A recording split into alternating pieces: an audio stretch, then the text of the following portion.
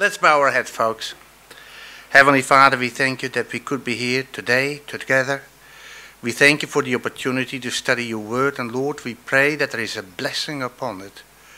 Help us to understand the book of Revelation. Help us to understand the ministry of Jesus in the heavenly courts above. Lord, give us the knowledge, the attentiveness, that we may understand and have the capacity to pass it on, to help others. In Jesus' name we pray. Amen. So, just a little bit, a few of the important things there, obviously, from last week. It is the book of Revelation. It really is the revelation of Jesus Christ, not the revelation of John. He was only a medium, if you like. Understand? Okay, he was only passing on, which God gave to, which God gave him to show his servants. So it came from the Father to the Son, and it's about things that must shortly take place. Shortly, in terms of angelic language, is whenever, not a long time. If you understand the duration of their presence and existence, when we talk about a few thousand years, which the foreknowledge of God had that it would take, shouldn't have been though. The intent was for a much shorter time. If the apostolic church had really, really snowballed and kept going, Jesus would have returned. The work would have been finished, and I don't know where we would be. We wouldn't be. But God's foreknowledge, it's a horrible thought, isn't it? Mm. I'm glad it failed because I'm here now. And you're here. You understand? It's hard. It's a great concept. So when somebody asks you, it's very hard. Tonight is really about ask questions when you have them and start thinking, how can I pass this on to someone else? Yeah? That's what it's about. So, unlocking revelation, blessed, and I'll just repeat this. And I'll do that a few times till everybody knows this word, this verse by heart. Blessed is he or she who reads and those who hear the words of the prophecy. So it's not just to read. It is not just to hear, but also it is to keep the things that are written in it. And then you have seven times that expression. The time is near. There is emphasis. Now, when you bear in mind that the book of Revelation was written not just for the Jews, and it was, I'm sorry, uh, the, the early Christian church, and it was, but the interesting thing is it was particularly written, more than half of Revelation, any from chapter 12 and onwards, is written for the people that are living in the end time, and we are in the latter part of that end time. Yeah? Oh, yes. Oh, yes. Sometimes when you study those prophecies, it's almost frightening how close it actually is. It's very close. So, this title, the book of Revelation, tells you immediately one thing. The charge that Revelation is a sealed book and, and not be understood is completely, totally, totally false. Yeah? It is the revelation of Jesus Christ. It is to be understood. Unlike some portions of the book of Daniel 600 years before, they were kept right to the end time. But a lot of Daniel, the bulk of it, was really meant for the Jewish people too. But, and the book of Daniel, which we will refer to very often, and the book of Revelation, as you know, are Sisters. sister books. Always remember that. So the revelation of Jesus Christ, the revelation about Christ. If you want to understand or ever explain to another person what Jesus is doing in the heavenly courts. You see, my concept of the activity of Jesus in uh, as he went back to heaven uh, as a Calvinist Protestant was always he's done his work now and you can ask him things. And I never had the picture that he was fully employed mm. in the salvation process the of mankind. Mm. It is, it is a wonderful thing to learn. When I came to this church, this church taught me Jesus is really, may I use the word, doing overtime, Ongoing. ongoing. No lunch breaks, I'm only kidding, but you understand what I'm saying. Jesus is really working for our restoration, and there's a doubling now since the judgment. So, okay, we'll talk about that another time. It reveals Jesus in his heavenly work after the ascension. That is when his work continued. Continued. Remember the, remember the, uh, remember that the courtyard, in the courtyard, representing the what? Well, The world. In the courtyard you have the altar of, incense. No, sorry. Mercy. No. if it wasn't for the apple crumble I sent you. Alright? Order of, in, order of sacrifice? Yes, yes, very good. Very good. Signifying blood. That's what I wanted to say. Calvary. Uh, Calvary. Calvary. That's it, that's it. And that had to happen in this world. Mm-hmm. So the sin, forgiveness for the sin is dealt with in the courtyard at this planet. Then the priest goes on your behalf in the holy place. You can't go there. What is that holy and most holy place? What did that represent? God. You're not wrong, but that's not Sanctuary. a sanctuary. What century? Heavenly. He's coming good. That's that proper building temple proper, where you couldn't go, but only the priest. Who is the priest foreshadowing? Jesus. Right. Yeah. Where did Jesus go when he left this planet? Heaven. Heaven. To do what? To intercede on our, our To behalf. intercede. He's doing ministration for you. That's equal to the, in the typical, when the priest goes into the holy place. I want you to have that picture. Once you have that picture, it becomes plain. He goes for you to the holy place to intercede. Intercede. Intercede for what? Our sins. Our s- soul. Our salvation. I want you to understand something. The sins are forgiven where? In the courtyard. Courtyard. In the courtyard. So he's not going there for your sins that you have committed because that's dealt with in the courtyard. Salvation. Prejudge. What does a Christian have to do before a Christian can be acceptable to Born God? again. Born again. As the Hebrew would say, born from above. Well, that's the work that Jesus is doing for you. So the sins are being dealt with. It's the sinfulness that has to be dealt with. And that happens with the intercession in heaven by Christ. Mm-hmm. Yeah? And then later on, indeed, the second phase is the judgment.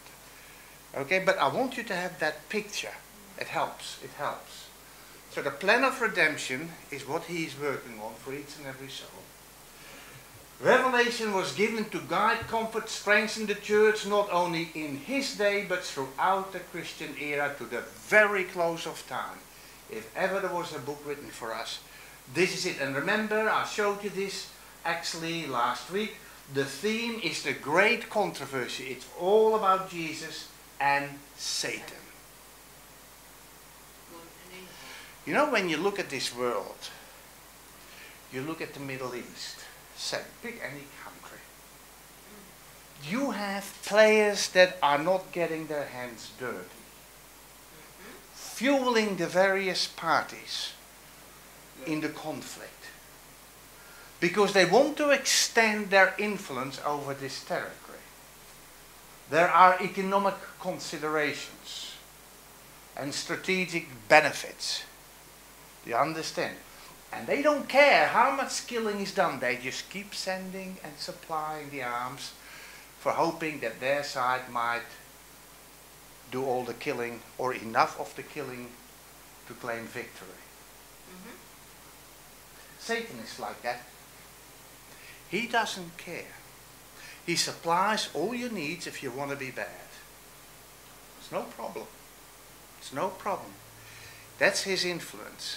It's easy to- Now, Jesus has done everything to supply you with your needs. And one of those needs is his intercession in the heavenly sanctuary. Get that? Yeah. Fantastic. Fantastic. Let's talk about the seven churches.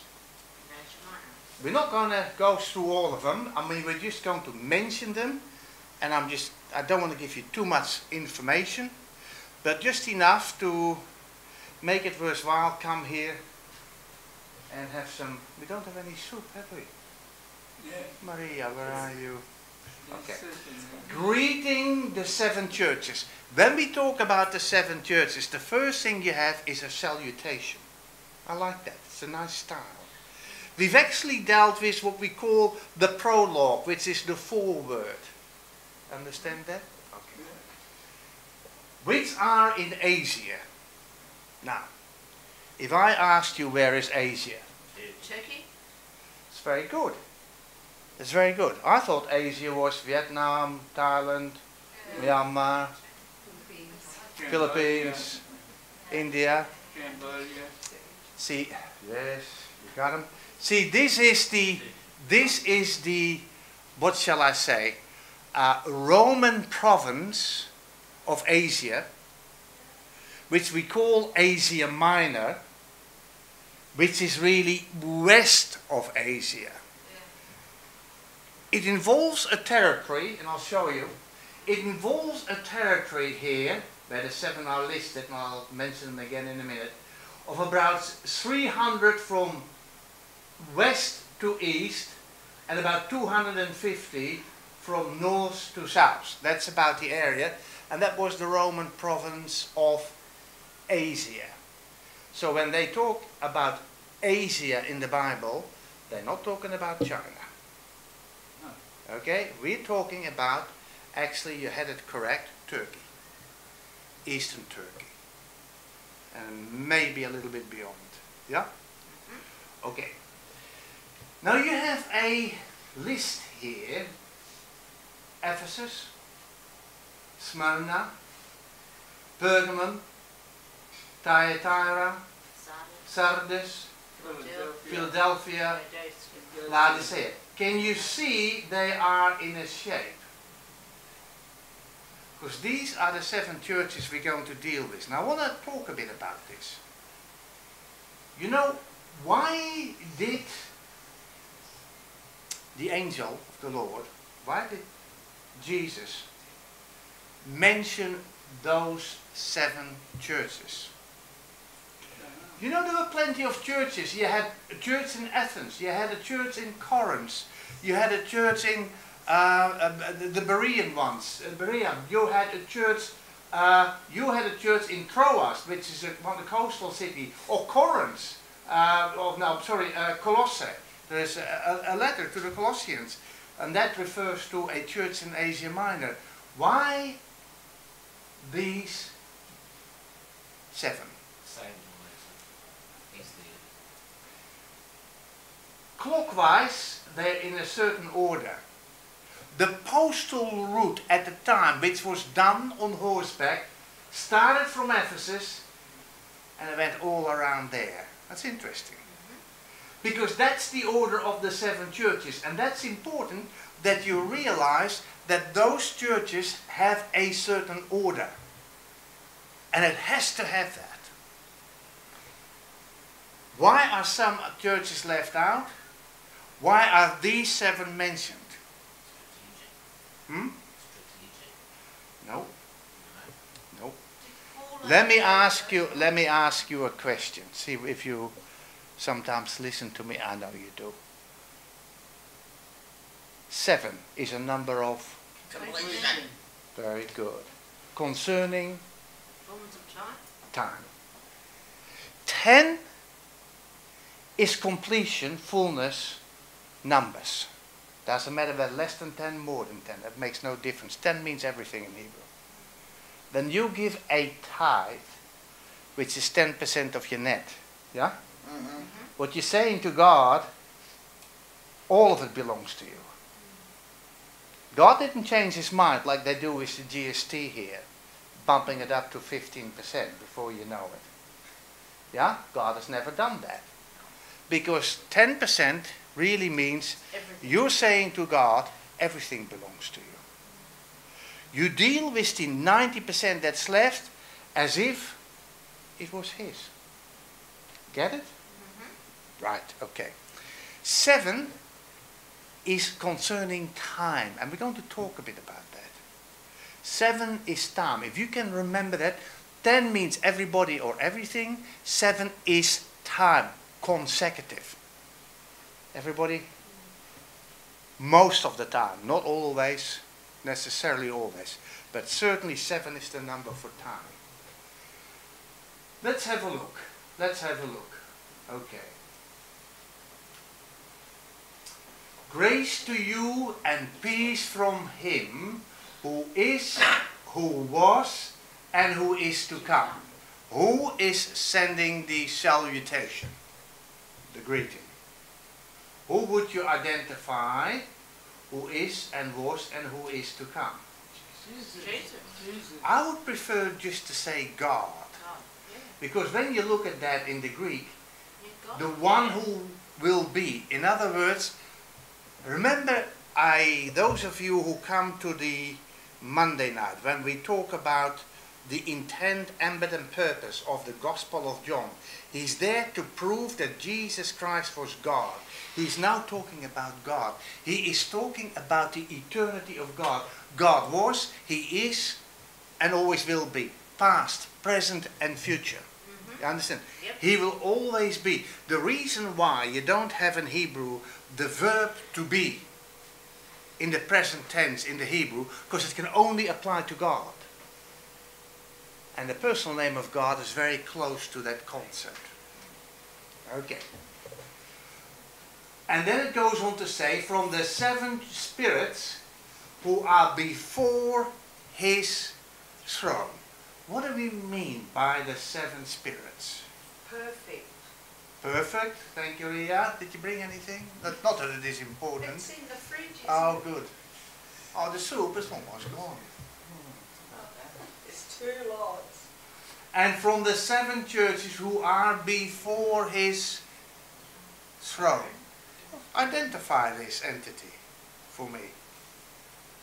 Who would you think it was? Be mumbling. I'm just saying, and from the seven spirits who are before his throne. Someone might ask you and say, what does that mean? Can you explain Holy that to me? Yes, very good. The Holy Spirit. I would have no hesitation in identifying the Holy Spirit. Have a look. Isaiah 12, the first few verses. First verse actually. The Spirit, I want you to count with me how many qualifications there are in this statement in Isaiah 11. The Spirit of the Lord shall rest upon him, the Spirit of wisdom and understanding, the Spirit of counsel and light, the Spirit of knowledge and the fear of the Lord. Four. Seven. Ah. The Spirit of the Lord is one, Spirit of wisdom is two, Spirit of understanding is three, Spirit of counsel is four, Spirit of might is five, Spirit of knowledge is six, and the Spirit of the Lord Spirit is Seven. Seven. seven spirits, Seven. seven qualifications. And seven means he's there all the time. He's there all the time. He is the connection. You understand? Okay. Now, have a look at this. And from Jesus Christ, the faithful Witness. witness. Now, what is the concept here of the faithful witness? If someone asks you, can you explain that to me? What would you say? John. No, it's Jesus Christ. He's the No, faithful John's the witness. faithful witness, isn't he? No, no, and of, from Jesus Christ, the faithful witness, the antecedent Ah, is. Jesus Christ. Explain it to me. See if you can. Try. Well, he lived the life of God. He showed the Father to the world. Absolutely. He was, remember Philip, show us the Father, it'll be said, no, you've been with me for these three years, Philip, and you still ask me? And he he said, he's been a faithful witness from the Father to humanity. Mm-hmm. Absolutely. He is also a faithful witness in the court setting. You know, when you have a court setting, you gotta have witnesses, correct? Yep. Mm-hmm. Now, in the in the Hebrew law, when they have a court case, you know the one they really, really question are the witnesses. And I could talk about this for an hour and it'd be profitable. But I won't do that. But every witness was questioned. And had to be accurate. Absolutely. They were questioned before they could give evidence. And if they could would give evidence, it could not be circumstantial. They would have had to have witnessed it in person itself. And you needed two witnesses, otherwise it'd be thrown out. Yeah? Mm-hmm. It had to gel. It had to be 100%. The, the, the procedures for examination were very severe. What would happen? I have a question here for you, and you find it in the book of Deuteronomy. What would happen to a false witness? Very good, Peter.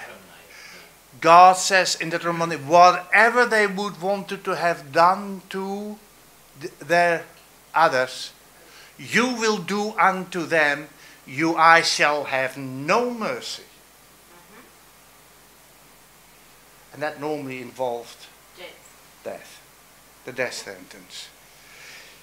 If Jesus is the true witness, then who is the false witness? Same. Same. Ah, and he is. He is so unlike God. Lies is head of, he's the father of lies, Jesus said. He's a false witness. What has to happen? What's he trying to do to you? Destroy us. Destroy you, to keep you Away from uh, God. in death. Correct? Well, that's got to happen to him. And it will happen. The same law of Deuteronomy will be applied to Satan. You understand? Yep. So there you are. And from Jesus Christ, the faithful witness, the firstborn from the dead. Is that correct? By the resurrection from the dead, of course. Yeah. Who rose from the dead? Jesus. Jesus. Who, who before him? Lazarus. Huh? Lazarus. I don't mind that, but that was not to eternal life, was it? Moses. He died again. Moses is good. Moses, there's a little book in the Bible just Jude. before Revelation, the book of Jude, verse 9. There's an argument between Satan and Jesus because it's about the body of Moses who died some 1400 years plus before Christ. Now, the interesting thing is the argument was something that Satan actually was correcting. The Lord dare not rebuke him, Satan. Why was that? Because Moses was a sinner.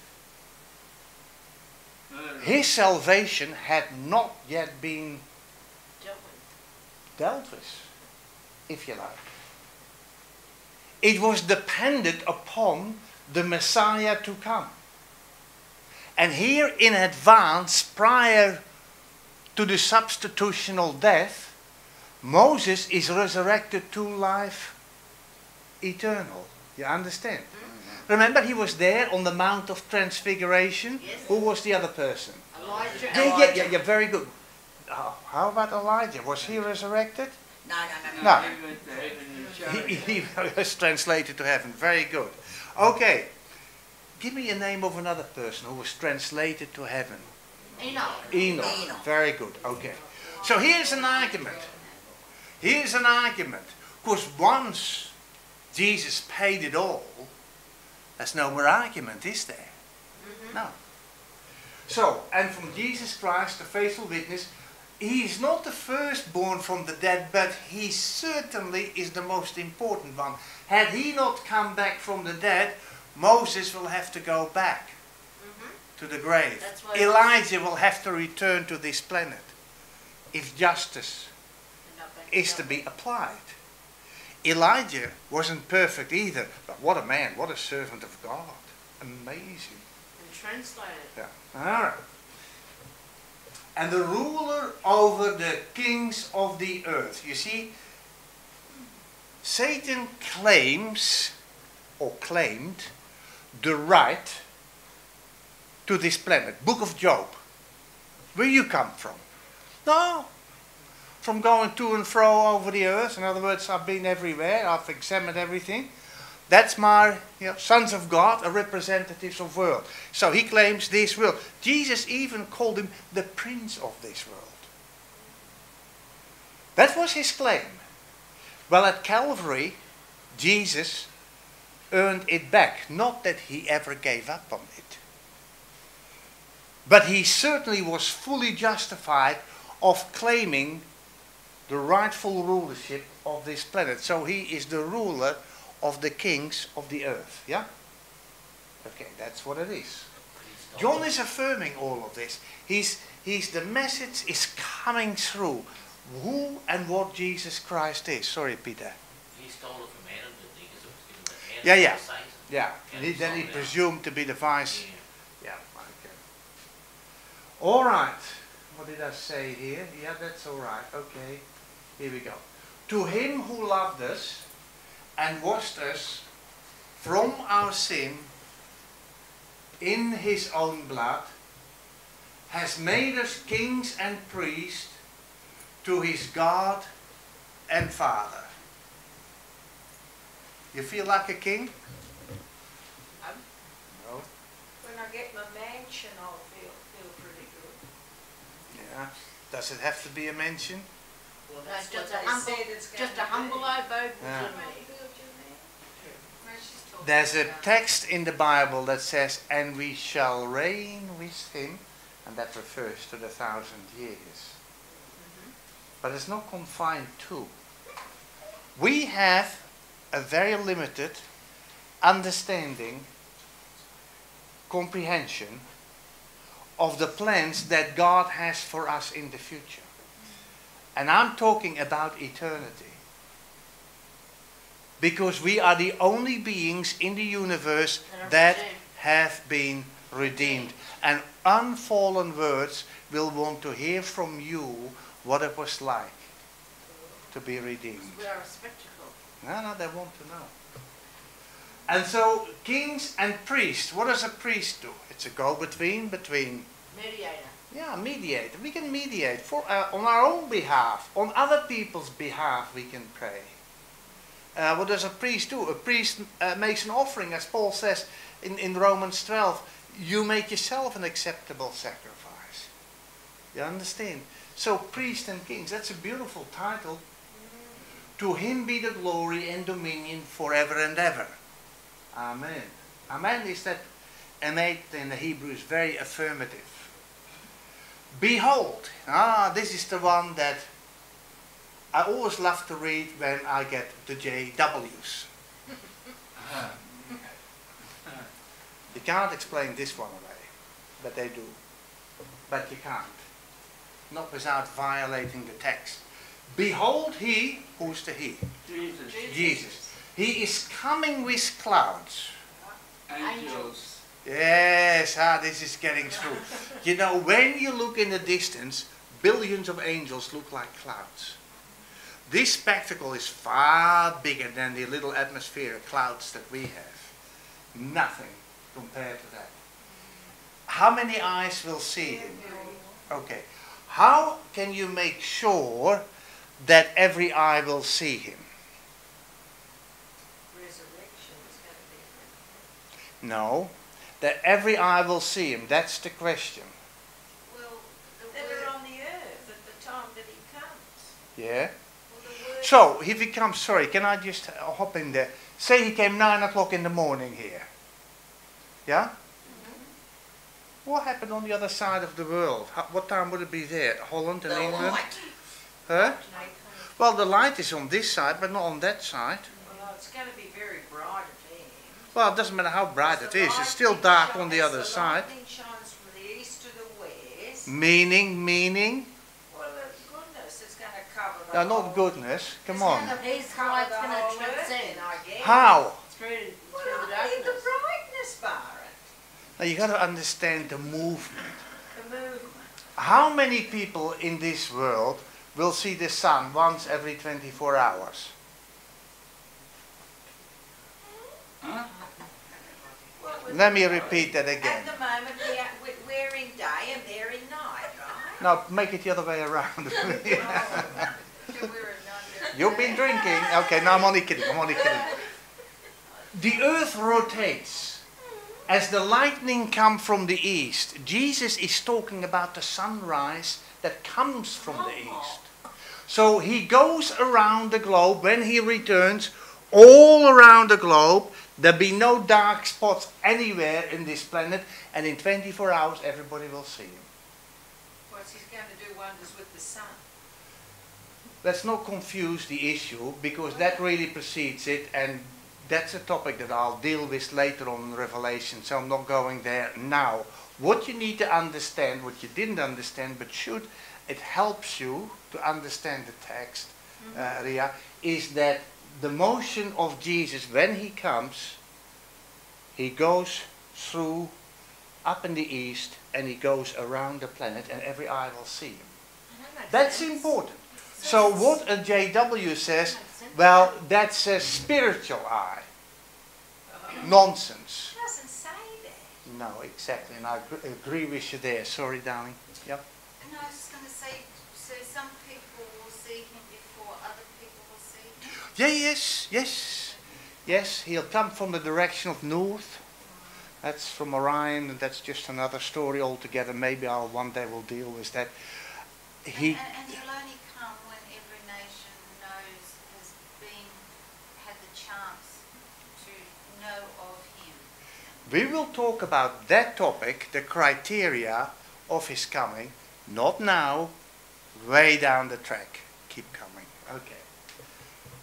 He is coming with clouds, billions of angels. He did say, and all the angels with him.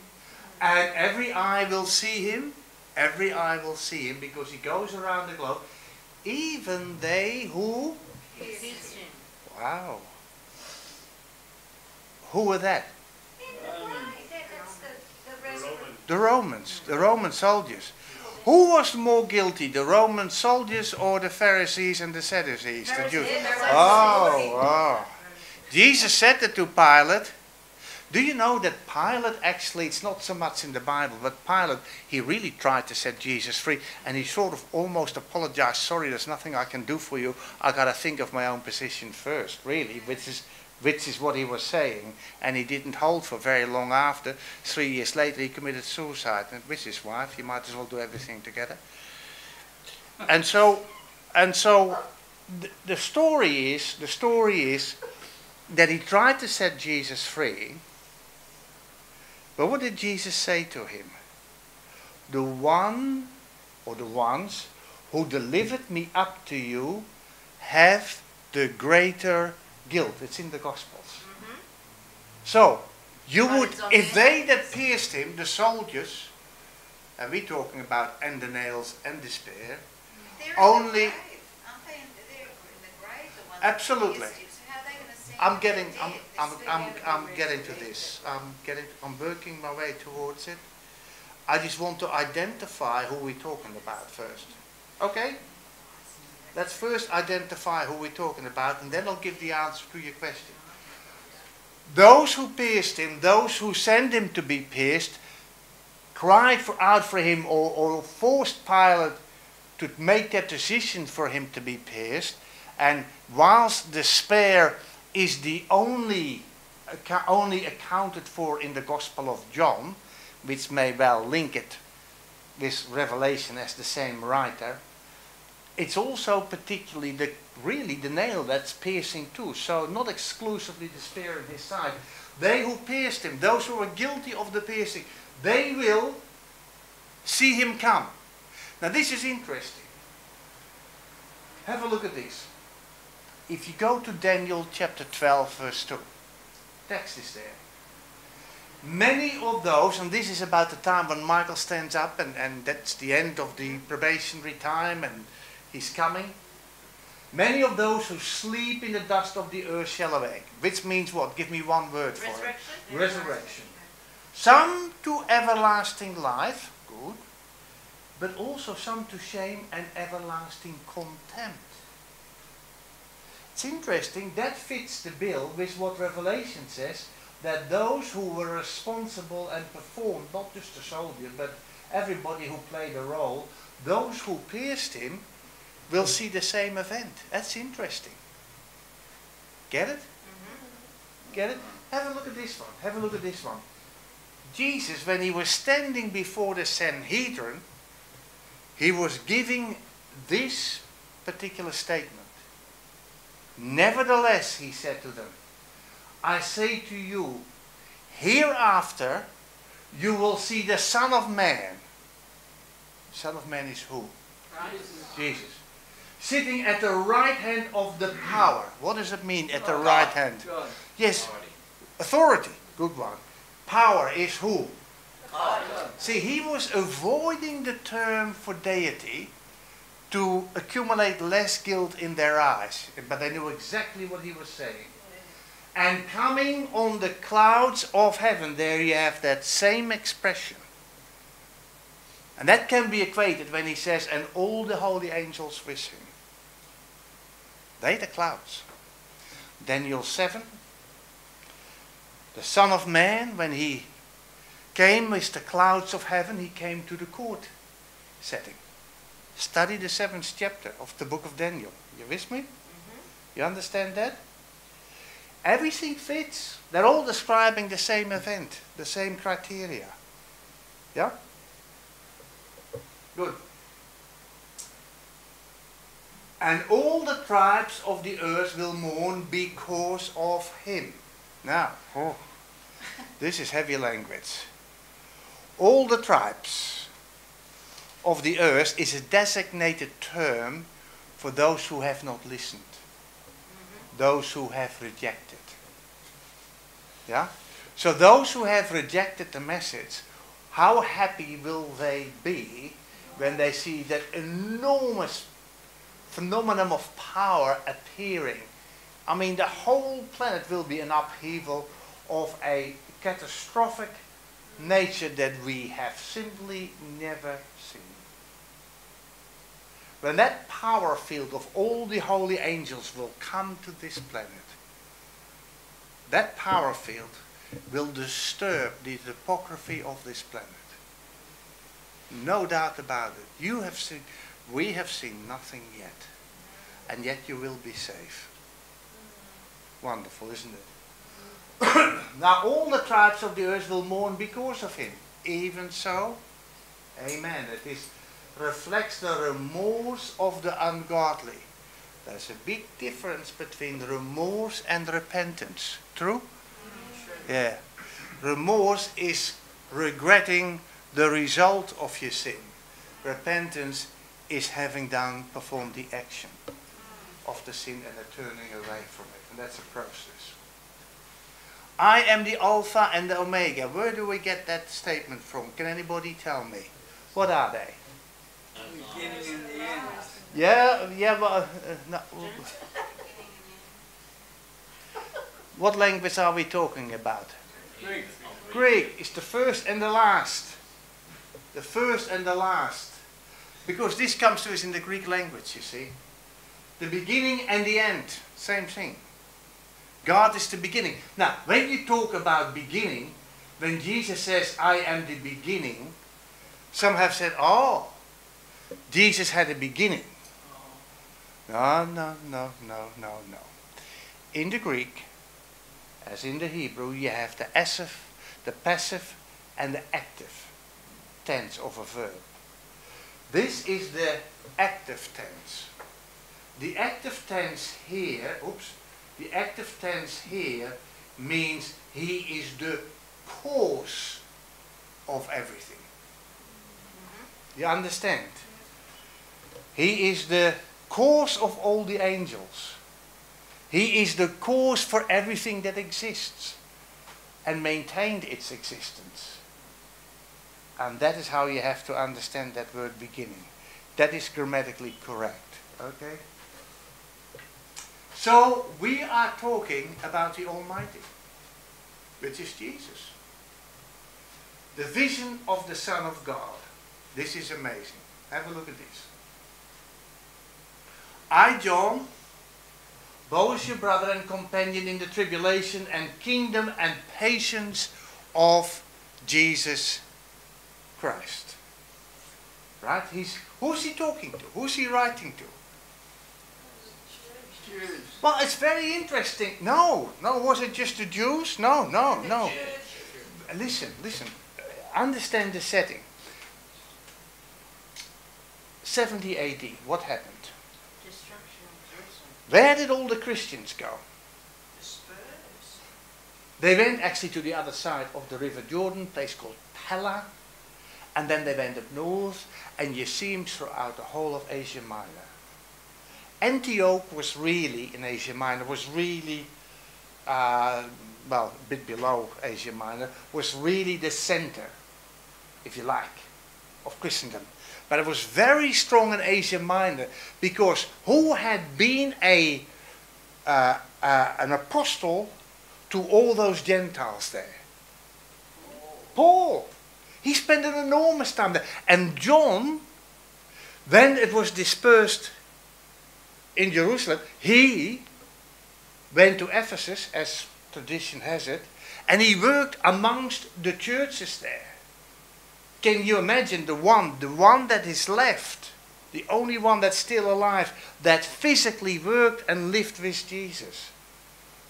He and you know he encouraged them and he kept them on the straight and narrow theologically. You understand? He had a tremendous influence. So so when he's on the island of Patmos, which is just off the coast of Turkey, it's still under Greek authority.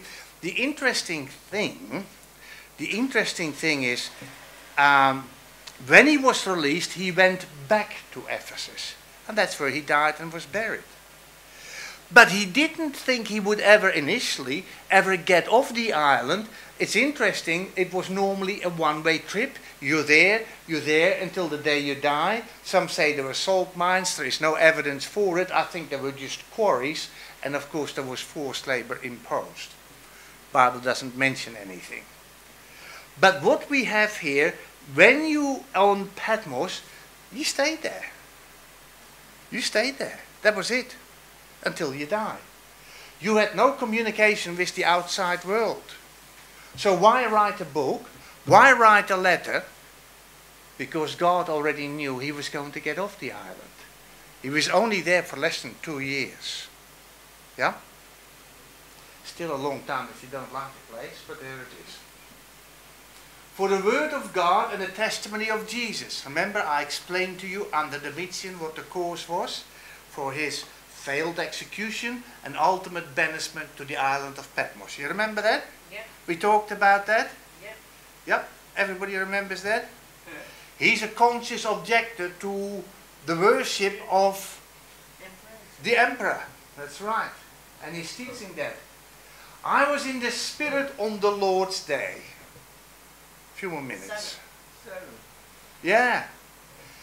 But many Sunday keeping Christians will tell you that from ancient times the Lord's day means what day? Sunday. Sunday. Yeah. You go to some of the early church fathers, they use the Lord's day. Guess what day they're identifying? Sunday. Sunday. Let me help you. The term the Lord's Day, there are various explanations. Some even have said that Lord Caesar, it might have meant the day that you burned incense to Caesar. There's no way that John would have referred to that as the Lord's Day. He, he was in opposition to it, so forget that. Then the Sunday keeping churches say, well, it was Sunday. No, it was not. Because the earliest writing, expression of the Lord's Day, meaning Sunday, came 80 years after this. There is no record whatsoever of the Lord's Day meaning to be Sunday. Sunday was introduced in the early part of the second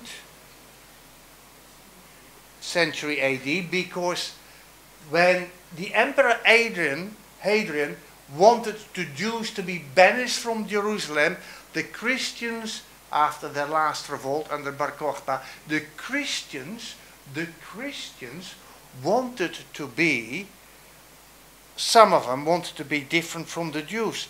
So they departed and also started to worship on the Roman day, which had to do with Mithraism, and that was a Sunday type of worship in order to be different.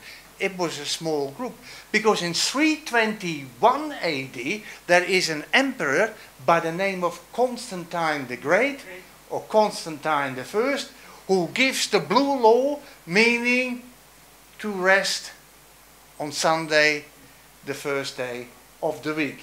And that mainly applied to those in the city, not to those working in the fields. So, if the Christians had, at the instructions of Jesus and the apostle, changed the seventh day Sabbath to Sunday, there would have been no need for Constantine to change it. And it's fascinating when you go, it is fascinating when you go to the Roman Catholic Church and you ask them, who changed it? You know what the answer is? We did. We did. And they're right. The 6th, 7th century AD, they enforced it and became very aggressive towards those who still clung to a seventh day Sabbath worship. Oh, they, they, many have there been that have been imprisoned, tortured, and killed, and defrauded, and dispossessed because they kept the seventh day Sabbath. It's for the record. Do you understand that? Mm. Okay. I was on the Spirit in the Lord's day. Now let me explain this. Therefore, the Son of Man is also. The Lord of the Sabbath. That makes it the Lord's day. Would you agree with me? Yep. In fact, I, I think you can't make anything else of it. And I heard behind me a loud voice as of a trumpet. He hears a loud voice behind him. Now, I don't know, have you ever had anybody call your name and they behind you? Yeah, Yeah? So what do you do? Okay. It's very different when you hear it in front of you. Yeah. because it's audio visual instant. Yeah? If someone, oi, suddenly comes to you. Now the voice here is like the voice of a trumpet. And so I think it was a softer approach. Because when we look at the visual that we're going to be having, it was quite a bit to take into, John.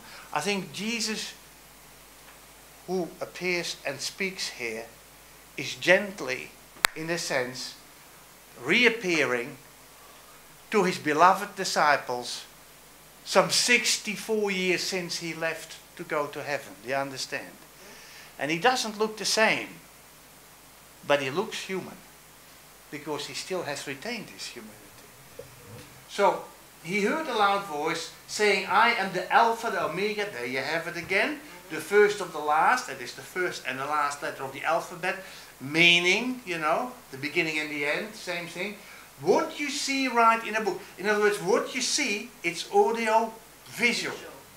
And send it to the seven churches which are in Asia. And here we are again Ephesus, Smyrna, Pergamos, Thyatira, Sardis, Philadelphia, and Laodicea. And next week we're going to start looking at those. Because these churches were selected that some of the conditions that prevailed in those churches at that time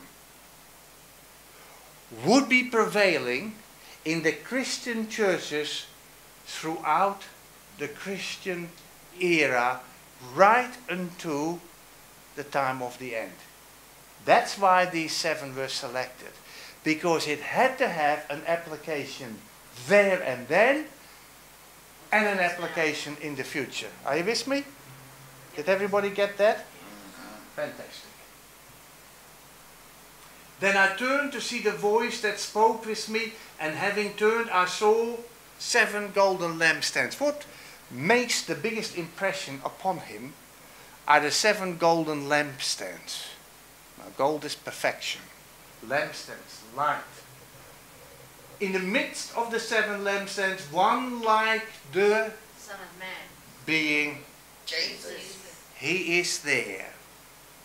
Clothed with a garment down to the feet, girded about the chest with a golden band. Uh, the picture is not quite correct. His head and hair were white as snow, uh, like wool, and as white as snow. Why is he saying that? Well, he sees a brightness in this person that is so unreal but real, it's there.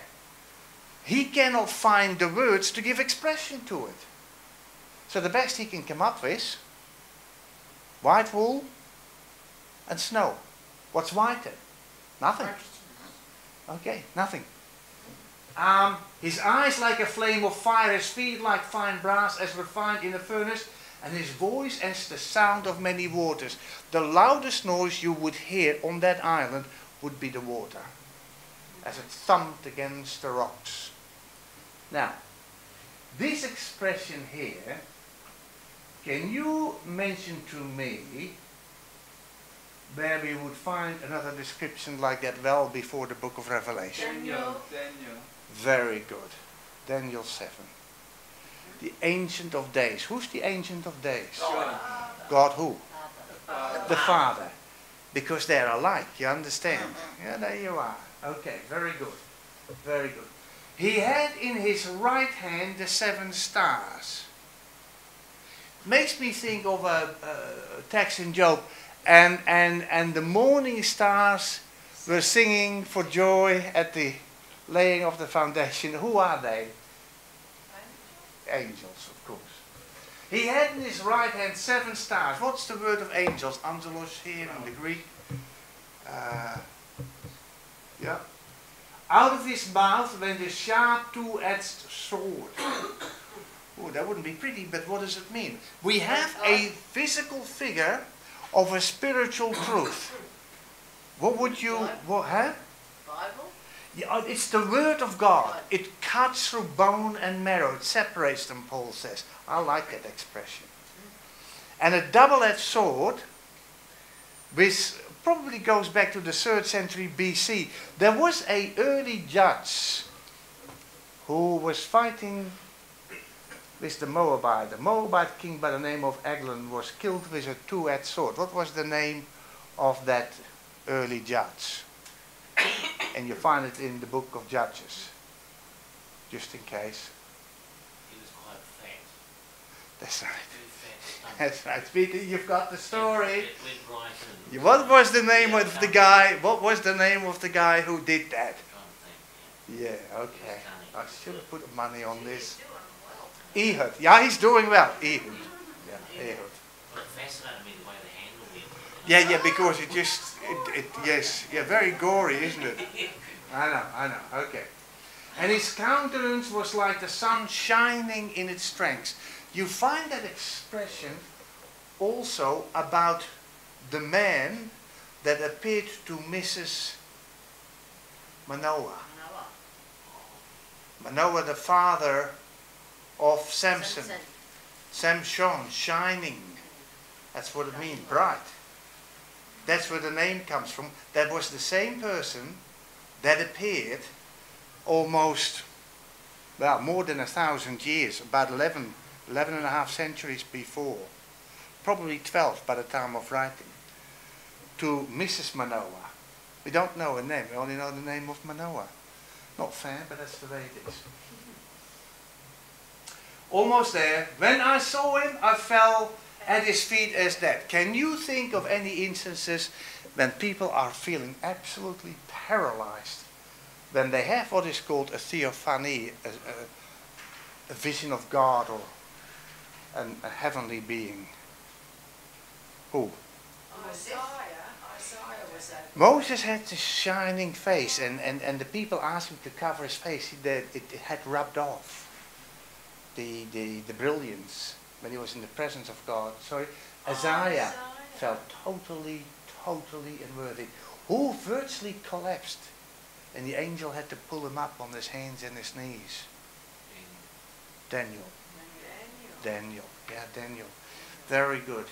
So it really apparently takes away all your power. And, and he had laid his right hand on me, saying to me, Do not be afraid. You find that expression many times. Angels say that. I am the first and the last. This is Jesus.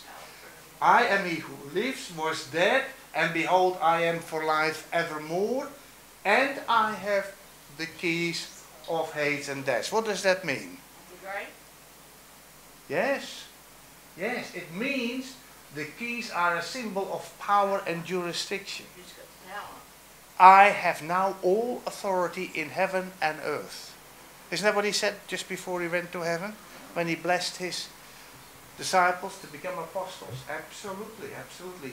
Write the things which you have seen, the things which are, the things which will take place after this, and then a quick explanation. The mystery of the seven stars which you saw in my right hand are, and the seven golden lampstands. Well, the seven stars are the angels, the messengers to the seven churches. Okay? That's what they are. Now you have your answer to that. That's what they are. And the seven lampstands which you saw are the seven. churches. Okay, you've got it. I mean, the Bible interprets itself every single time. Okay, that was the end of the presentation. Thank you so much for it. You can't go back once you switch off, do you? Thank you, Byron. Thank A you. pleasure, a pleasure. And um, that's it. Any question? Can we bow our heads? Heavenly Father, we thank you for the opportunity that you have given us to study your word, to learn once again the wonderful provisions that you have made for us to know you and to be aware and in the full knowledge of the work of Jesus in the heavenly sanctuary above. Lord, we pray that we may retain the information, that we will use it in order to help other people also to understand. Lord, we pray for the refreshments that we have, and we also pray, of course, for traveling mercies as we find our way home tonight. And that you bring us together again for further worship and study. In Jesus' name we pray. Amen. Amen.